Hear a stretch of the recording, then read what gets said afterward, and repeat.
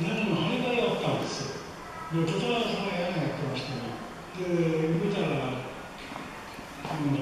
トタンのね屋根の腐ったやつをね外したって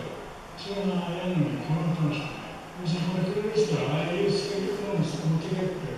くれたんです。トタントいたんですああいうとにね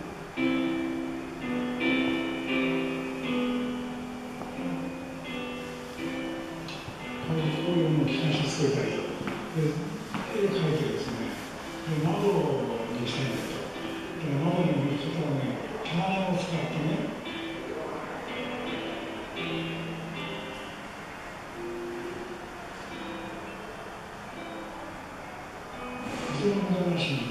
棚にこうなんて丸く穴で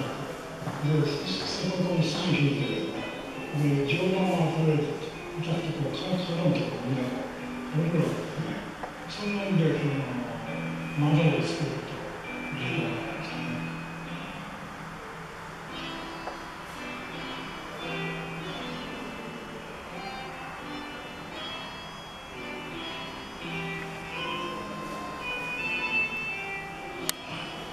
いやー、このですね、この柱などのようにスーパーでずっとね、